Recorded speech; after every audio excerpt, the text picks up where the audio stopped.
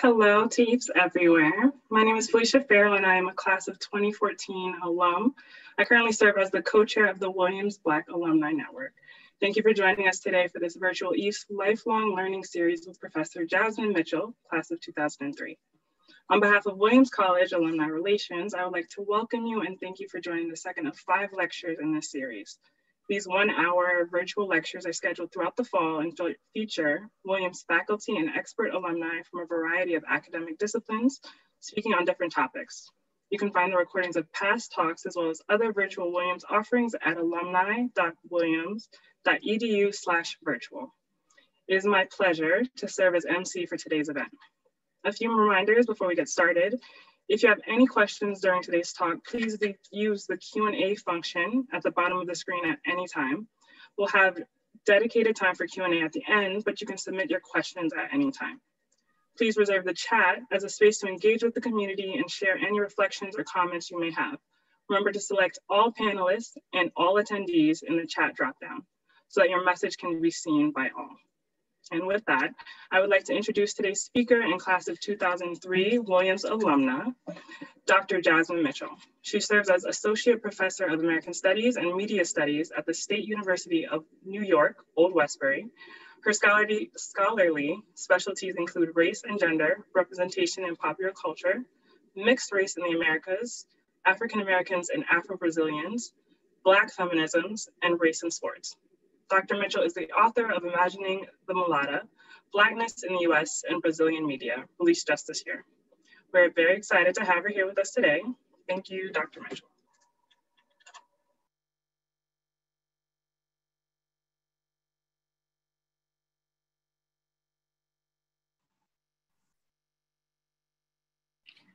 Okay.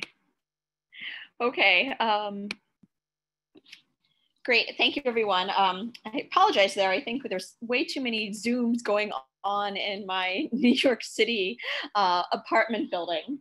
Um, in any case, thank you so much. I'm uh, really for giving me this opportunity to talk and I'm really looking forward to hearing from all of you, uh, especially questions.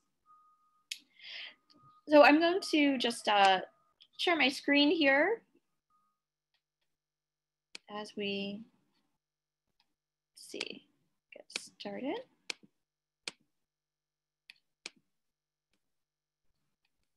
Hmm.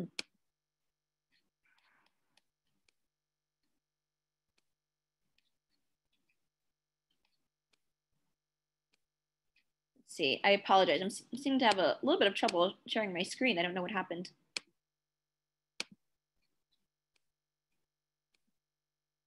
Go. Okay, it's the new Zoom world, everyone. We're all getting used to it.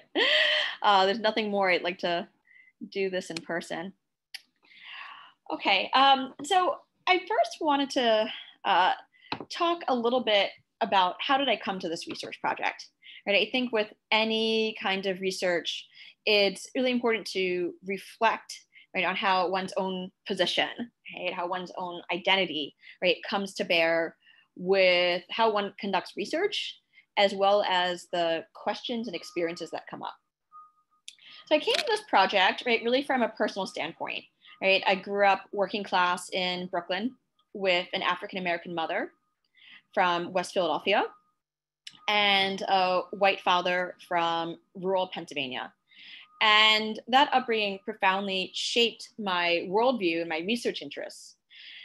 So I really believe then it's crucial to seriously consider both the possibilities as well as the limitations right of discourses of mixed race right as well as really grapple with the manifestations of anti-blackness in both the us and brazil and i actually started to realize some of this at williams okay? So when I began at Williams in 1999, I was really excited to run around the dorms and see for the first time in my life so many um, mixed race students. And I would run around and say, Whoa, you're mixed too. Wow, you're mixed too. Where did you grow up? Um, and this idea, though, of so called new people, right, of a new mixed race people really started getting traction in the 1990s and the early 2000s. And in the year 2000, for the first time on the US Census, you could check more than one box. There was a huge deal. Okay? It was the first time, right, in, in US history that you could check more than one box, right, rather than being in one category um, in, in terms of a racial category. And so while I can say at Williams that I was really excited to be with uh, other students from around the world that also grew up in interracial families, something was amiss, right? Something seemed a little bit off to me about this discourse and this imagery, right, that I was seeing in magazines and newspapers and speeches, right, about this so-called discovery, right, of uh, new people. And there's this influx of multiracial images, right, whether it be Tiger Woods or Mariah Carey, um, and this rhetoric of mixed race people as suddenly new. And I questioned this emphasis right, on the uniqueness and novelty of racial mixing. For what political purpose right, does this focus on a new people serve, especially when it was often coming from conservatives? And with my mother's African American side of the family running the gamut from very light skin to dark skin and an acknowledgement of the racial mixture within our family tree, I was really skeptical to what were the political stakes here of this discovery of mixed race people as a new phenomena? Right? How was history getting erased? And where was Blackness going to come in to the conversation? And I was really concerned about how African American diversity was silenced from this conversation. Right? I was also perplexed at conservative proclamations that there would no longer be a need for race based policies such as affirmative action or the protection of rights. As for Brazil, my travel and work experiences there also profoundly shaped my research. So I first traveled to uh, Brazil in 2000 by myself the day before New Year's Eve uh, that was quite an adventure, not speaking any Portuguese whatsoever, um, not even knowing where I was going to stay. Um, but I was determined to get to Brazil because I myself, like many African Americans before me, had bought into this myth of Brazil as a racial paradise for people of color, especially people of African descent. Hey, like many African Americans before me and now, I was ready to go to Brazil. I, I thought this was going to be my escape from racism because Brazil itself has long promoted it itself as a racial democracy in which extensive racial mixing and the lack of legal segregation in comparison to the US made it unique. Right? That it was the US that had racism and Brazil was free from it because of its extensive racial mixing. So racial democracy relies on this idea that because there are no rigid racial lines that delineate black from white in Brazil, racism simply doesn't exist there. However, after working and living in Brazil, I soon realized how very wrong I was.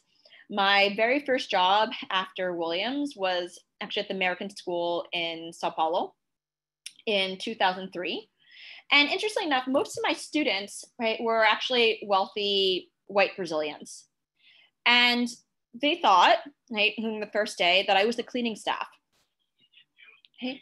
There was this disconnect, right, between this celebration of racial mixing, this icon of uh, especially mixed race women as being this icon of Brazilian national identity, and yet the day-to-day realities right where i was one of two right, uh, black teachers there right, that were coming from the us and one of the first that the school had ever had in its history. So i grappled with this contradiction of this idea of racial democracy when most media images were white most government and business sectors were white the university spaces including where I conducted my research at the University of Sao Paulo, okay, where only 1% of the professors were Black. How was it that mixed Black women were celebrated during Carnival, during Samba, were marketed internationally as symbols of Brazilian identity, as proof of Brazil's racial democracy, yet people of African descent were so marginalized from positions of power. So I came away from those experiences really galvanized to uh, to go to graduate school, and I also thank um, the Mellon Mays program at Williams, right, for really giving me the the space and agency to delve into some of this research and come up with some of these questions. Right, some of my key questions then with uh, the genesis of this book, right, is how does the mixed Black female figure embody these contradictions of racial inequality and racial harmony, not just in the US and Brazil, but I would say this is hemispheric, right? Really in the Americas. How does the mulatta figure, right? So the mulatta is this idea, right, of um, a, a woman of European and African descent, right? How does she mask anti-Blackness in the Americas? And third, how does popular media, right, from the TV shows that we watch to how we think about celebrities, to Hollywood films, to music videos, to sports, right, actually reinforce these racial ideologies of white supremacy. Right? Even in media productions or media texts, right, that are lauded for being progressive. And so my argument that I came away with right after conducting this research was that both Brazil and the US, but really we could say throughout the Americas, right, use the image right, and the symbolism of mixed Black female bodies as a vehicle to support white supremacy and discipline people of African descent okay, through hopeful erasure, containment, or management of Black bodies.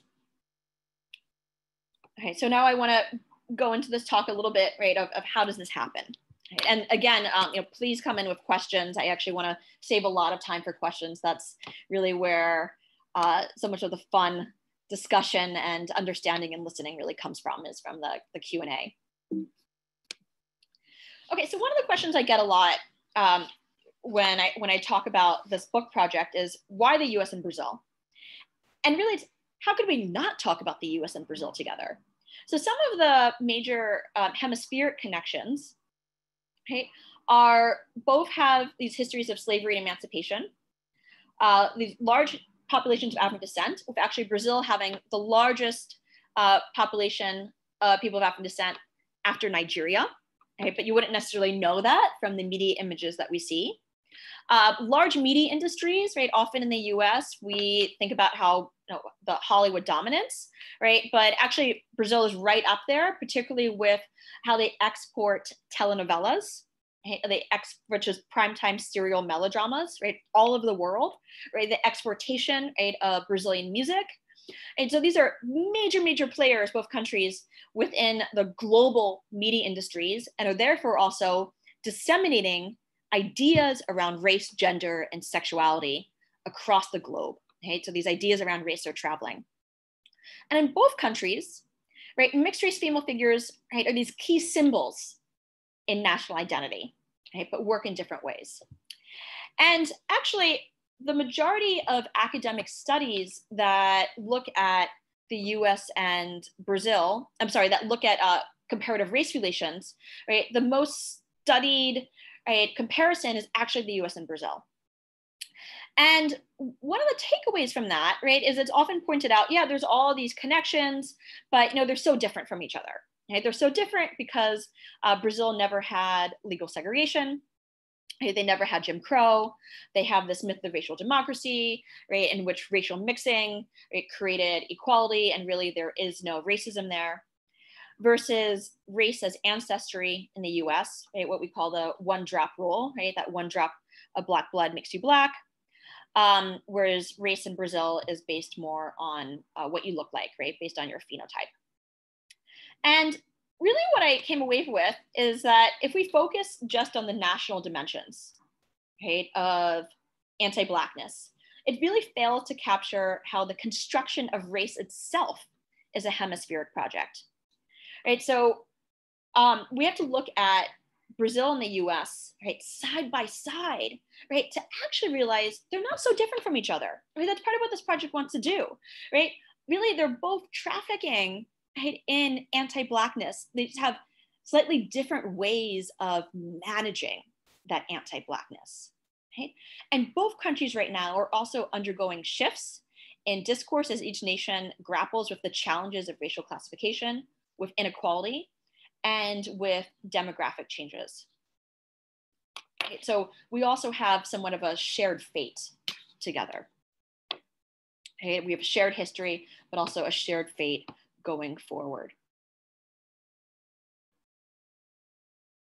Okay, and so again, just to, to recap here, because I think it is important um, for understanding how race works in Brazil versus the US, right, is that again, race in the US is based on your ancestry. Um, again, we have that one drop rule, right, coming all the way down from um, Plessy versus Ferguson. Um, right, that one drop of black blood, you know, makes you black. So we have a very different understanding of, um, of blackness in the U.S. Uh, versus race acts as color, and phenotype in Brazil. So while there's these official census categories here in the left, right, of branca, white, parda, brown, preta, black, amarela, yellow, which is usually um, how the largest Japanese population outside of Japan is referred to, and indigena, indigenous.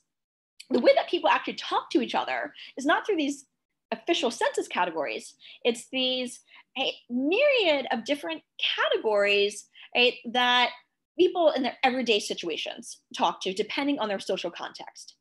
So for example, morena can, is a really vague term that can mean anyone from who's just white and is a brunette um, to a polite way to call someone black because to call someone black in Brazil has such a negative stigma to it, right? It's often really a way to associate them with ugliness, um, with laziness, right, with being unworthy uh, to mulata, which is a black white mixture, but it's often highly sexualized.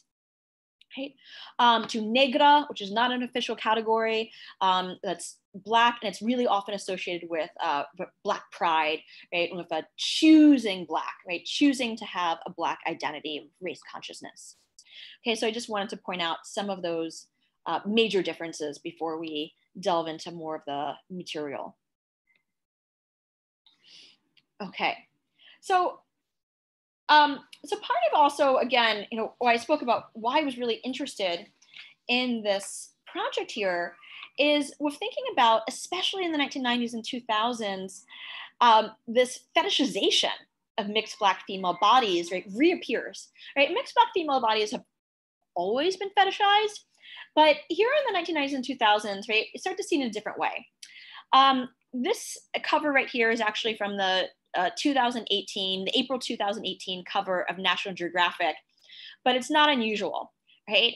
So there's this fascination, um, whether it be Time, Newsweek, National Geographic, with these repeated descriptors and visual imaginings of beautiful, exotic, and unusual, futuristic, right, um, mixed Black girls or mixed Black women that will bring in a new racial utopia, despite right, racialized police violence and vigorous debates on affirmative action, right, that all demonstrate right, that these racial legacies have not been erased. In the US, I would say we have this morphing of the tragic mulatta, right, this woman of African and Euro- European descent, right, who was you know, often regarded as this tragic figure right, that could never really be part of the US nation, right, due to the taint of Black blood that she had, right, rather than decrying racism itself, right? It's that Blackness itself becomes the problem.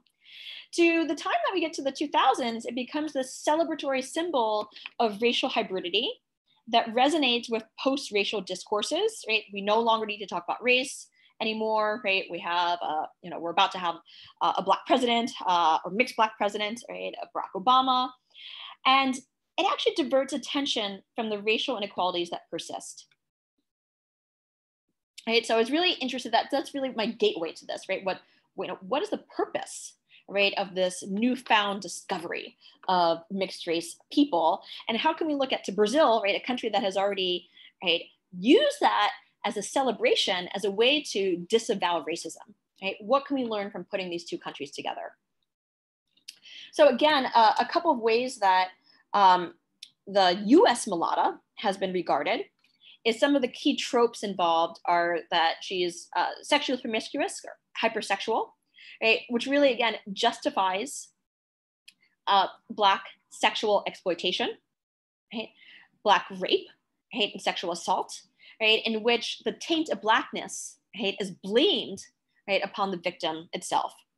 She's often presented as highly desirable, but not marriageable, right? A seductress, manipulative, irrational or cunning, right? And just has this uh, deep desire, right, to um, not only infiltrate, right, white society, but break it up. And this is all the way from Birth of a Nation to Carmen Jones to uh, you know some of the films that I'm going to argue later on, such as Monsters Ball, that we also see in the 2000s. And in Brazil, hey, we have um, the Brazilian mulatta, hey, who emerges as evidence of Brazil's racial mixing and absence of racism. Right? She continues to act as a symbol of Brazilian national identity.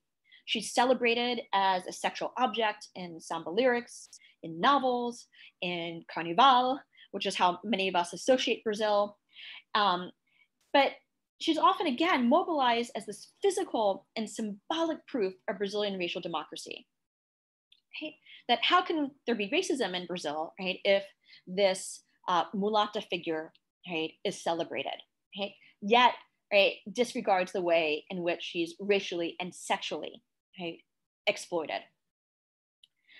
So starting though, right, heavily um, in the 1990s, right, there's this discourse of Brazilian racial democracy that starts to crack. Right? It gives way to an acknowledgement of massive racial inequality and the need for Black identification. And since the early 1990s, Afro Brazilian social and political mobilization, the introduction of affirmative action and racial quotas, which is new, that only starts in the 2000s in Brazil. And there's also gradual opening of spaces for Afro Brazilian actresses right, on mainstream television. And what this does, right, it, it all heightens and these debates surrounding racial democracy, um, racial inequalities, and national identity in the public sphere. Okay. Um, so again, you know, I just also want to point out, right, if you have questions, right, to put these in the Q&A. Okay. okay. Um, so we can, you don't have to wait to the very end for that. Okay. And so part of what I would say Brazil has, though, despite this, you know, uh, talk about racial democracy, is that actually both Brazil and the U.S. right have this whitening project, right, or what we call branqueamento. And I think this painting here from 1895, it really uh, epitomizes this discourse of whitening, which we still have today, right? Not just in Brazil, but I would say in the Americas as a whole, right? So this idea that racial mixing will eventually lead to the dilution of Blackness. Um, so this painting is a Redenção de Ham, right, Ham's Redemption. And what we see here is Brazil was the last country uh, to abolish slavery, right? It doesn't do so until 1888. And instead, hey, what Brazil does is it subsidizes mass European immigration, right, to help whiten the nation. Right? There was this idea that Brazil was going to be a backwards nation, but could never be modern because of its Black population. And so what we see here on the left, right, is the formerly enslaved Black grandmother uh, praising God for her uh, mulatta daughter, right, in the middle, um, who has just recently given birth, right, to a lighter skinned child, right, with what is presumed to be, you know, her recent uh, European immigrant husband right? So this idea that the racial mixing, the point of racial mixing, right, is not just to end race, right? The point of racial mixing is eventually get a whiter population and to get rid and contain blackness itself. Okay? So while these are the colonial legacies, and right, and while these is this the kind of discourse and rhetoric that we have from the 1800s, from the early 1900s, I would very much argue, right, this is the same kind of uh, mindset, the same kind of ideological standing that we have here today, both in the US and Brazil. Okay. And how I want to look at this was looking at um, celebrity star texts and looking at media texts such as telenovelas and Hollywood films. All right, so here we have Jennifer Beals, uh, famous for Flashdance, uh, 1983, and she comes to fame right before you know, were really talking about post-race or any of that, right? But I would say in all of her media texts, there's this haunting of the mulatta figure, right? This haunting, of right? She's often marketed as somewhat mysterious, right? As being um, sexually available, right? And the way in which Beals talks about herself, right, is she also talks about herself um, as, you know, bringing in these multiple heritages, right? And before a, a, time period in which anyone was talking about a multiracial identity, right, in the larger public sphere. Uh, she gets this new wave of fame in the 2000s with the Showtime series, The L Word, right, in which she um, purposely right, wants to put forth a multiracial identity, right? Ask for the writers, right, to write a multiracial uh, character, right, so that the show can also grapple, right, with anti-blackness. Right. We also have icons like Halle Berry, right? Who, same thing, right? Is often presented as sexually desirable, right? As often presented, right, as available, right, to all men, right? Without, right, really uh, thinking about right the kind of agency that she often doesn't have right over her own body. She herself right uh, proclaims a black identity both for herself and her daughter right saying that she goes back to this one drop rule right of believing of blackness as ancestry but also because she's trying to put forth a black political identity the same thing with um, a very well known actress in Brazil, Camila Pitanga, who is the daughter of a well known Afro Brazilian actor, Antonio Pitanga. And what is interesting about Camila Pitanga is she's often marketed, literally here in this magazine cover, as the synthesis of Brazil, right? As this mulatta icon.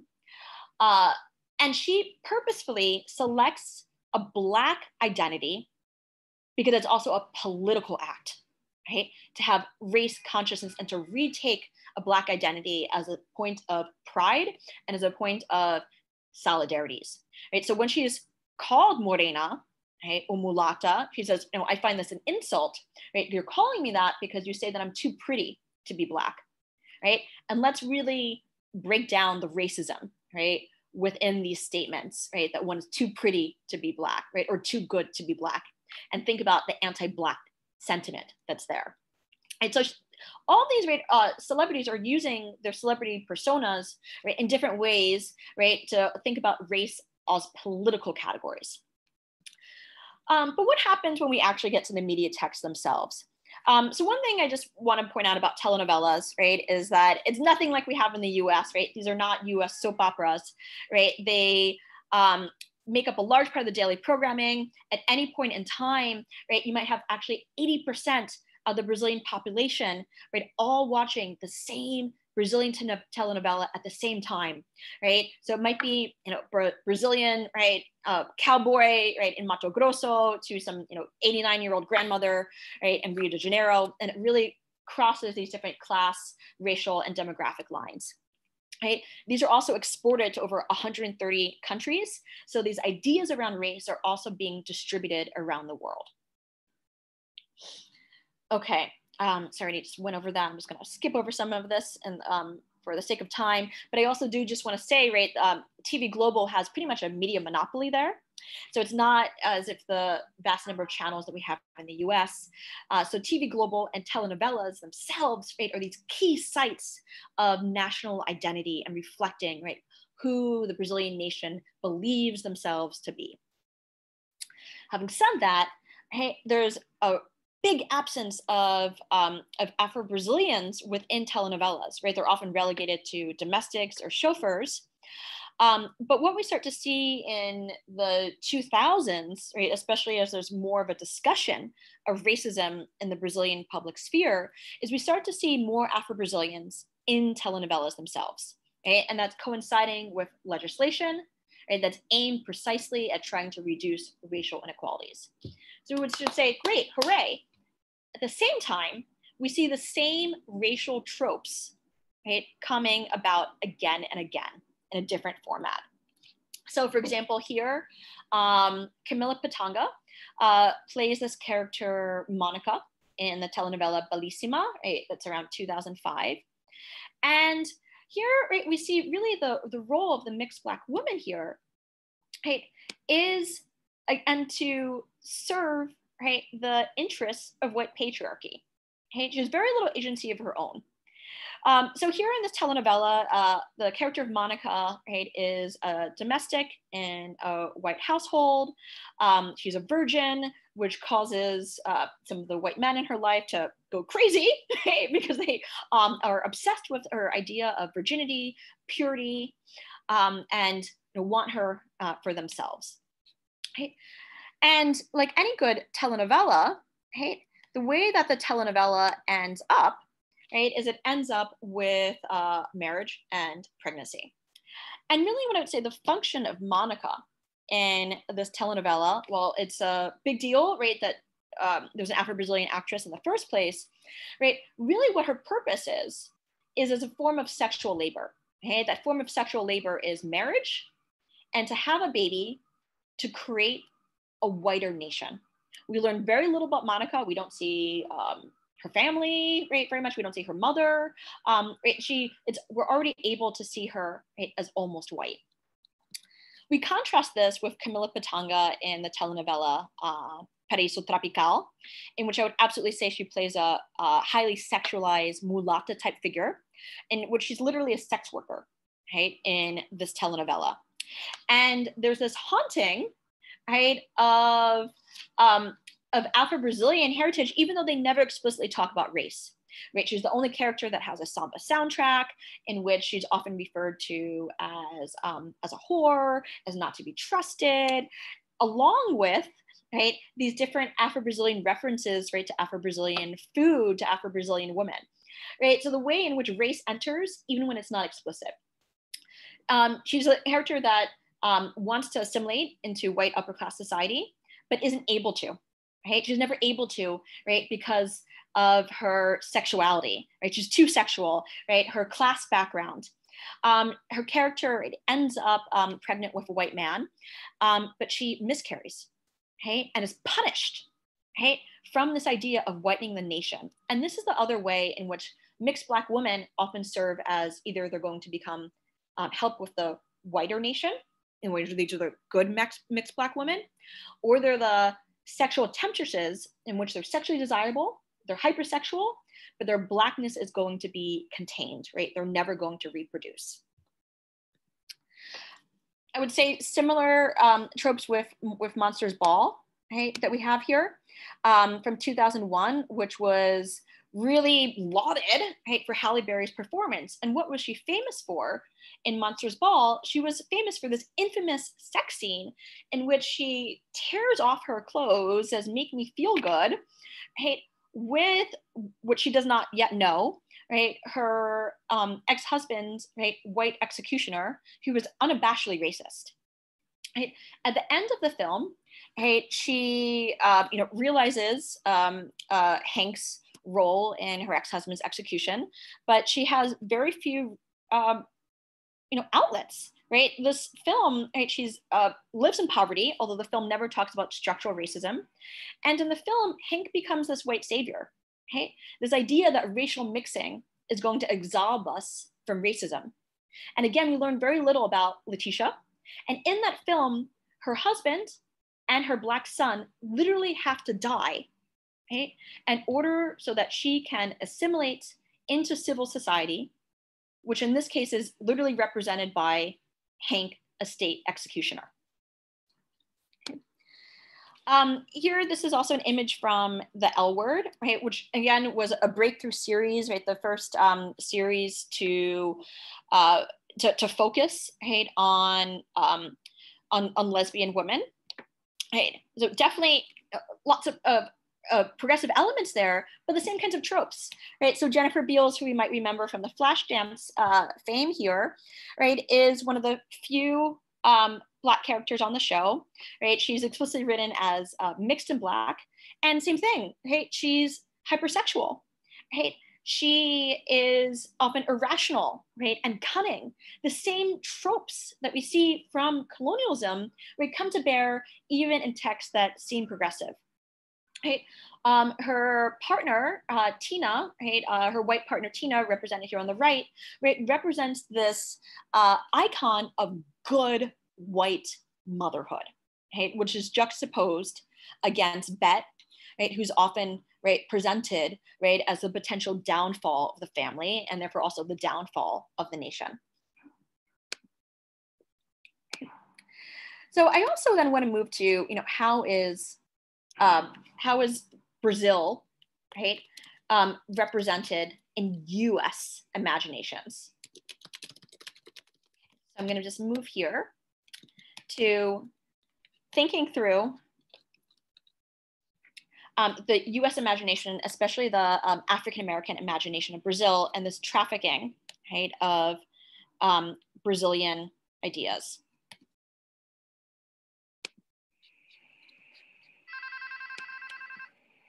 Oi, fala comigo. You let me talk to Snoop.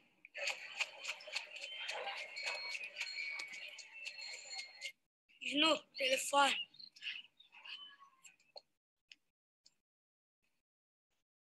Yeah, yeah. Yo, dog, we on the way to do the video. Shit.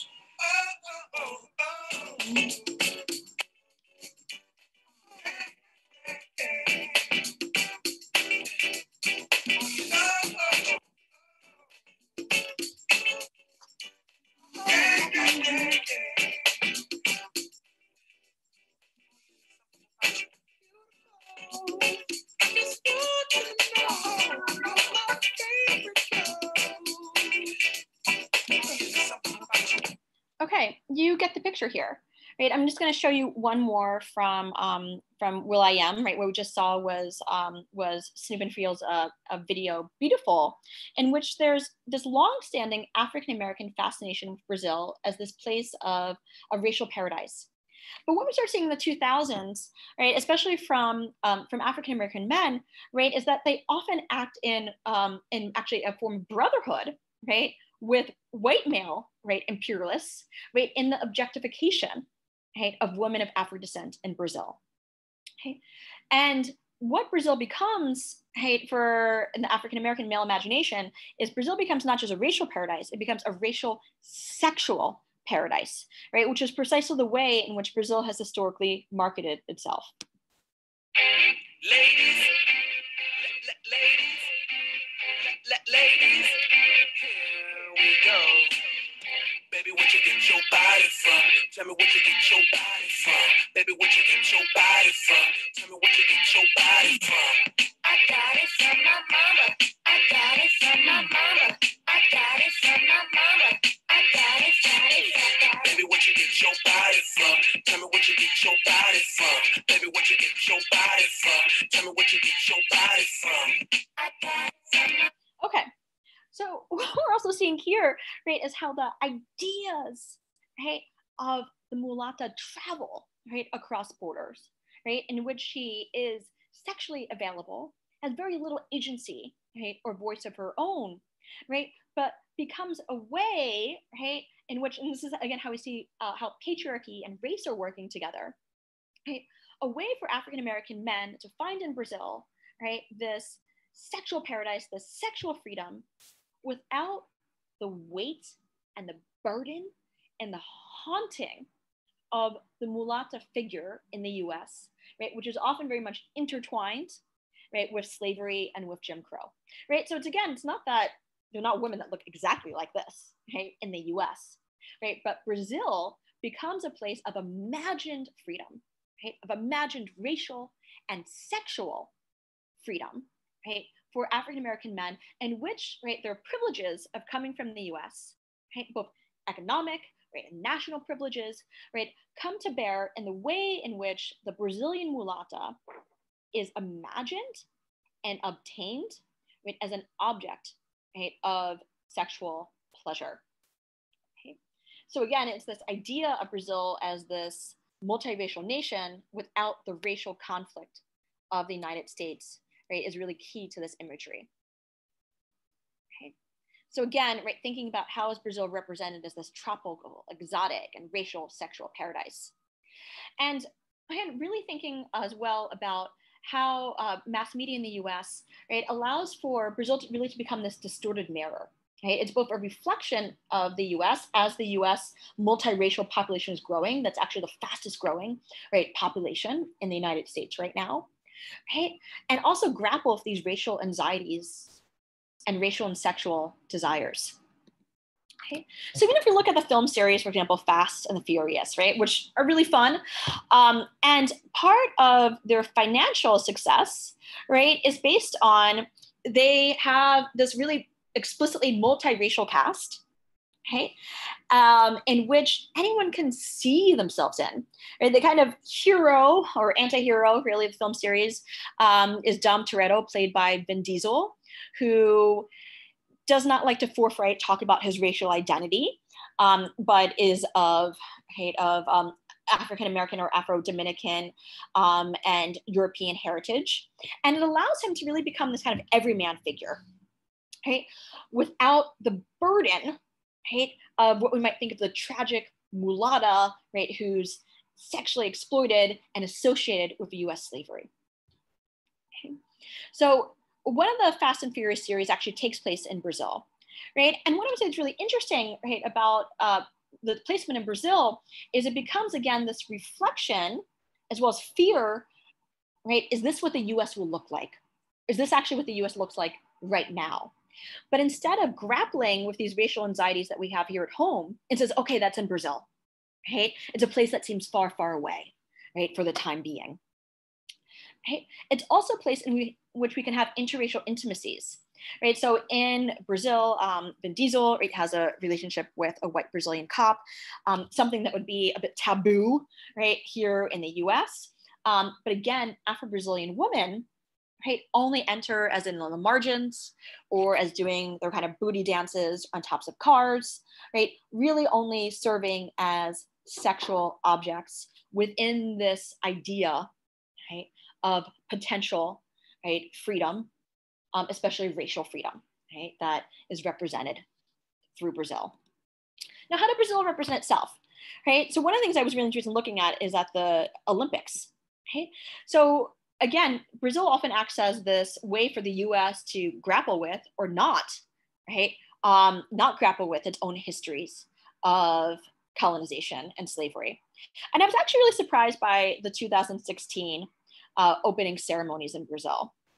Right, there, um, the London handoff transfer, right, actually had often had um, explicitly vocal, right, Afro-Brazilian um, imagery and celebrities and musicians, and I was pleased to actually see um, Brazil, right, really uh, display its history, right, of colonization and slavery to the world, right, instead of hide it, something that I think would be actually be unimaginable in the U.S. But again, the way that NBC uh, discussed or framed Brazil's presentation, right, is instead of saying, for example, uh, European colonization, right, um, and, which was what right Brazil was was was showcasing right to the world, right? It said, oh, European immigration, right?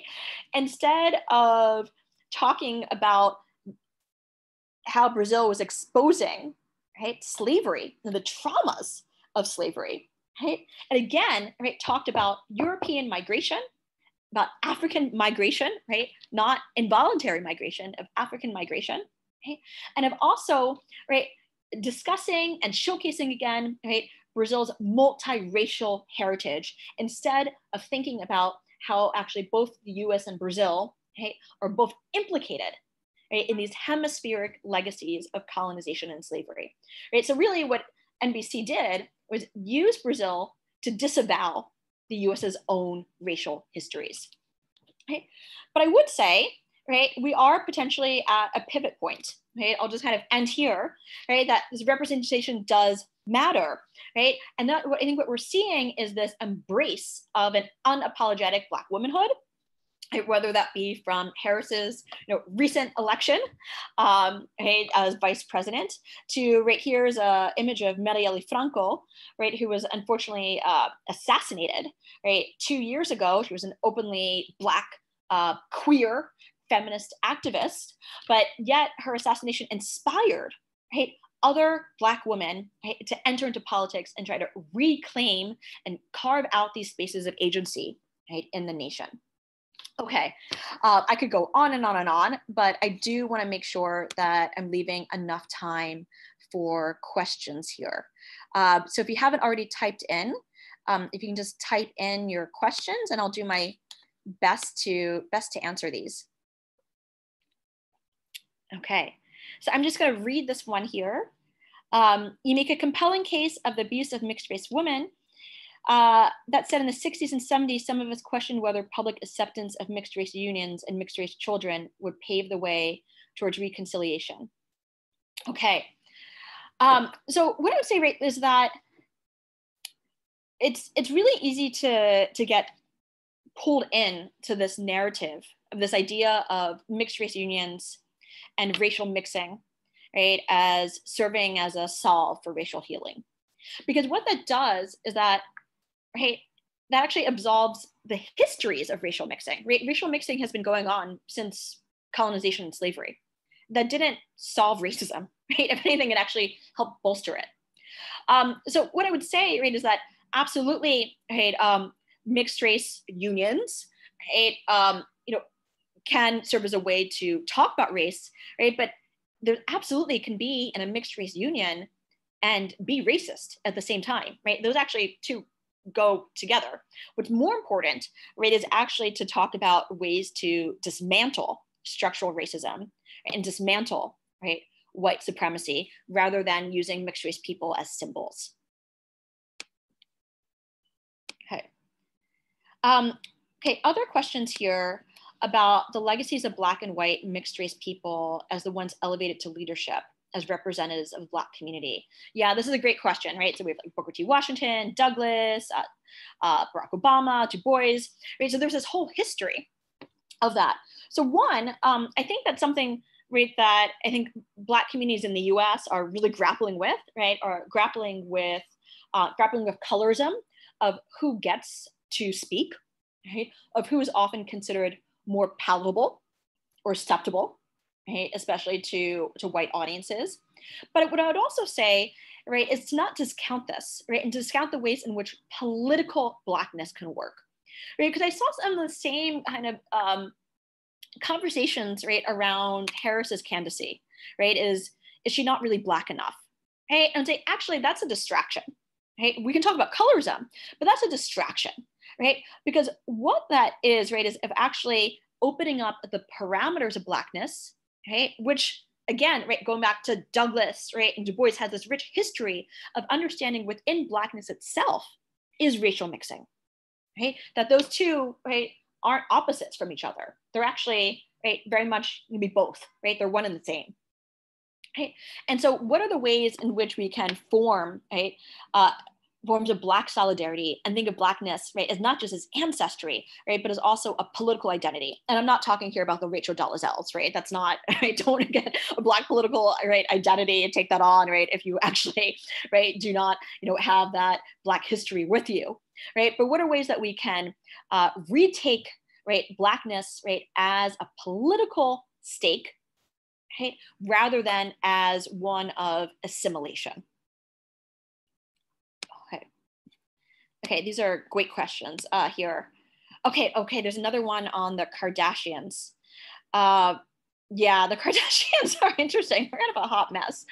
Um, so, you know, one of the things is the uh, that I think is really interesting about the Kardashians and actually like other social media figures, right, is this desire, right, to have blackness, right, this desire right, to hold on to the parts of blackness that are considered desirable, that are considered actually right sexual, but to discount right everything else, right?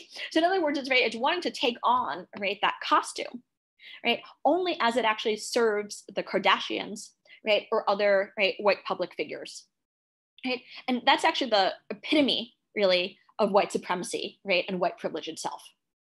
Right, is wanting only these parts of blackness that are desirable, right, or that seem palatable, of taking that on, right, of often stealing that, right, while also disavowing structural racism, right, and taking up space, right, that could actually be used, right, for Black conversations, right, and for other Black kind of public figures. Okay. Um, okay, so I'm also seeing one about um, about Black women, right, breaking barriers um, here, and about how we might think about the mutual benefit um, of us all. Well, one I would say, you know, we have, as many of us know, right, a lot of work to do still in both countries, right? So I should also say, for example, in Brazil, right, we have um, right, Bolsonaro, right, and Trump, and in some ways, Bolsonaro, right, makes Trump look good, right, in terms of Bolsonaro's explicitly misogynistic, right, and racist policies and statements. But, right, what I can also say to this, right, is that there's also always been, right, Black feminist organizing in both countries, right, that are often not given enough space, right, and are often not giving enough credit, that are also in the ways that uh, are formed coalitions, right, with one thing that's not talked about often in the US and Brazil, coalitions, especially with indigenous mobilization and activism. So I think of, right, how can we hold up, right, these spaces, right, for Black feminist organizing, right, in both countries, right, and making room for that, as well for us to not only question our allegiances to racism, but also our allegiances to patriarchy and capitalism. And how do we break free from that? Oh, okay. I love this question about other characters here in the US or Brazil that subvert or escape these tropes. I am really excited about some of the television um, and film that I'm seeing coming out of the US right now. Um, so, ones like, uh, and, and some of the celebrity figures, right? So, like Zendaya, right? Like Tessa Thompson. Um, the black and this is why we also have to talk not just about representation but what we see off screen right? A black production, right? Black writing, black directing, right? So whether that be um, Lovecraft Country, right, or whether that be um, Blackish, right? Um, right, these kinds of right shows, right, that open up a pivot, right, towards not assimilation to whiteness, right, but of actually a pivot, right, towards using one's right mixed blackness right as a way to actually get to this unapologetic black womanhood and reclaiming these spaces. So i think we're in a really exciting time right now. The same in brazil with a figure like camila pitanga who i find fascinating right who really uses her position to try to amplify right black women's voices. Um, one thing that's interesting also about brazil right now is that netflix is actually the third largest market, right, in Brazil, right? Or sorry, let me inverse that. Brazil is Netflix's third largest market. So Netflix in Brazil is actually producing Brazilian, right, made and produced TV shows that is actually more diverse, right, than TV Globo. And what that's doing is that's actually forcing TV Globo itself, right, to become more diverse, right? Why? Because there's a demand for it right? The shows, right, that are have been more diverse that feature Black women are also more financially successful, right? Because it's ding, ding, ding, right? Black women also buy soap, right? You know, right, are also consumers. So I think we're at a potential, you know, exciting time um, at the same time as we see how deep white supremacy and white patriarchy are entrenched in both countries. Um, okay, another question here is about telenovelas. Um, oh, and how one of the slides I had mentions um, script rewrites or revisions. So one of the really interesting points about telenovelas and that it, how I would say they actually really act as this conduit of national imaginaries in Brazil is uh, telenovelas run every day except for Sunday. And they usually run for about nine months. So you can almost think of it as a super, super long movie. And the script, right, can change based on audience feedback, right? So based on focus groups, right? Based on what audiences are saying in social media.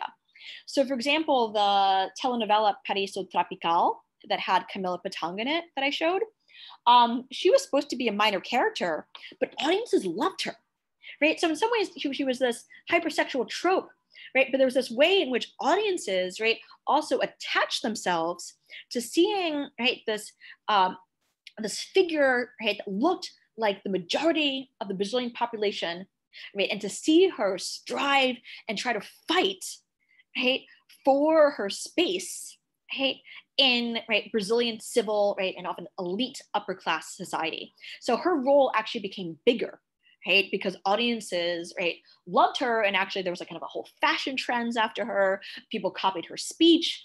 Um, so Brazilian telenovelas, right, really work um, with this, you know, audience feedback, and it's usually a group of writers, right, that will revive, uh, revise the script. Um, wow, these are these are great questions that we have. Um, and there's so many, right, that I want to answer. Um, so I'm also happy to go over the 1 p.m. time um, if we want to go through the rest of the the rest of the questions. But some of you who uh, need to leave, um, you know, definitely feel free to do so. But I'm I'm here, right? It's pandemic. I'm not going anywhere. Um, so one of these, let's see, um, questions about Bahia right, is the increasing clout or coolness of blackness. So once black becomes cool and drew tourist dollars, um, right, the idea of Bahia seemed to appropriate blackness, right? Um, definitely, right. And we have, you know, white celebrities, right, talking about, you know, I'm black. Yeah, right, definitely, right. We have that in the US too, right? Especially if we think about these uh, beds, right, of what's considered an idea of authentic blackness, right, that's often put on, right, for domestic and international consumption, right? So whether that be Salvador Bahia, right, or whether that be a city like New Orleans, right, in which the ways in which great that Blackness is celebrated, fantastic, but also we need to really parse out how is Blackness being commodified, right? How is Blackness also being policed, right? In which kind of blackness and what kinds of spaces, right, is an Afro-Brazilian presence allowed and on what terms, right? So for example, in Salvador, right, in Pelourinho, right, you often have to have a license, right, to sell, right, certain Afro-Brazilian foods, right on the street as just as an example um, or right might be allowed or encouraged to be in particular spa- public spaces right but are harassed in others and again, right, I would say in both countries it's about this consuming of blackness, right? And it would also, right, but under whose terms, right? And who gets left out, right? So yes, celebrate, right, this Black Pride, but of also, right, to question, right, of who is this Black Pride also serving. I would also say there's a huge market, right, of African Americans that also go to Bahia, right, in search of these Afro-Brazilian roots. So while that's again, right, definitely encourage, right, we should all should travel, right but to also be mindful right of how we ourselves might be participating in us forms of imperialism right and getting to dictate right how we think blackness should look and act okay um, i'm also looking here at questions about ethnic um, ambiguity oh whoa sorry I'm getting so many questions this is wonderful um, ethnic ambiguity that uh, lots of mixed race folks embody um, and how does that mean? And how does this interact with the political notion of Blackness? Okay, great questions. Um, so one thing, you know, that I also want to, you know, doing this research is to think about um, about racial ambiguity, but also to really have us question that there's a certain mixed race look, right? Of, of this person looks mixed race, right? And this person doesn't. So there's a way in which there's a fetishization right, of racial ambiguity. Right? And who does that actually serve? Right? One, it can make people very uncomfortable. Right? I know myself, right? So I identify as mixed and black, and I see those as going together. Right? Again, it's not as contradictions. Um, right? That those right are are part of our, our black identities, right? And they they're um, they can be both right at the same time but I've also right for those of us who do identify right as mixed right to really think about you know what is our what does our racial ambiguity do right it often makes uh, people uncomfortable if they can't put you in right a box um, of wanting to put you in a, particular racial category so they know literally how to interact with you what tropes and associations will they have with you right? But at the same time, right, to also think about the ways in which um, mixed race bodies, the ones that we often see, whether in media or the ones that are given the most prevalence, right, are often ones that are seen as less black, right? The ones that are often seen as closer to white, right? So we often talk about mixed race as like black white, and that's what I focus on, right, in this book, and that's because it's caused so much most anxiety right, and desire historically. So it's for a reason. Um, really to explore race relations in the US. But when we talk about um, ethnic ambiguity or racial ambiguity, right, we often really don't talk about solidarities between groups of color, right? We're often not talking about right, Black and Asian, right, or Black and Indigenous. Right? And I really then want us to you know, question, right, what is our role, right, as well in helping to distort, right, these notions of what race is supposed to look like right? To actually, I like making people uncomfortable, to be honest, right? Because it forces people to question, right? What is the purpose of knowing, right? Is it so that you can form a kind of trust, right? I have a very different reaction if another person of color asks, "What are you?" right? Versus a questioning, um, right? Of what are you?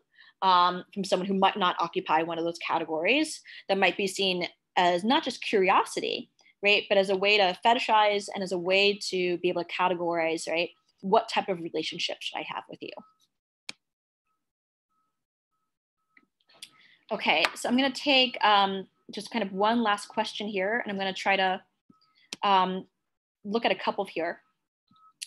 Um, so let's see. Um, so I'm looking at some here about um, the Fast and the Furious and um, and how there's this idea of interracial intimacy among families and friendships, um, but how it's set in a different reality um, and often has more to do with sci-fi narratives. Um, and I'm also looking at this one of Halle Berry and how she's sexualized with her loss of agency. Um, and how do we tease out the racial component and the gender component? Okay, so what I would say, right, is that we always have to look, right, at race and gender and sexuality together, right? So the ways in which um, sexual empowerment, right, or or uh, sexualization, right, very different, right? The stakes are different, right, for white women versus black women, right? Because black women have historically been so uh, highly sexualized, right, in juxtaposition to white women, right? That white women have been positioned as as pure, as um, as occupying these ideas of good motherhood, um, in direct opposition, right, to black women, right? And also the ways in which Black women are often made to always be sexually available, right, for, for anyone. And I think this also has to do with thinking about interracial intimacies, right? Um, and, and what that looks like. So interracial intimacies, right, are often positioned as in another world, right, as um, you know, in some either being sci-fi or in some like action film, and to really think about how um, Black women, right, are again often not presented as marriageable, and again that's not always you know a goal per se, but are often presented again and again, right, as in companionship, right, with white men, right. So really as continuously being in service, right, of white men, right, and really in service, right, of white patriarchy, right? We see very few kinds of images, right, and films, right, where it's actually right black women that have agency and where black women are in charge. And so to get to actually the very last question, right, um, I think media literacy is what we need. So uh, I teach media studies and American studies courses at at SUNY Old Westbury, where most of my students are first generation college students. And it's actually one of the most diverse colleges in the nation, which is amazing. I love having my white Trump supporting students with my Black West Indian students from um, the Bronx in the same class. And part of that is having conversations like this, having uh, more media literate, and also for us to really reflect on um, the ways that we're also complicit, right, with structural racism, the ways that we're also complicit and invested, right, in forms of patriarchy, and how can we make more space, right, for Black women, whether that be on screen in terms of representation, whether that be off screen, right, as directors and writers, whether that be in the White House, right, whether that be in corporations, whether that be in university spaces, right, and to right listen and to open up these kinds of uh, conversations and new forms of knowledge, right, that Black women often practice and occupy. Okay, so I'm going to um, end there. Um, I want to really thank all of these amazing, um, amazing, amazing questions. And I do want to, um, you know, turn it over to, to our alumni relations.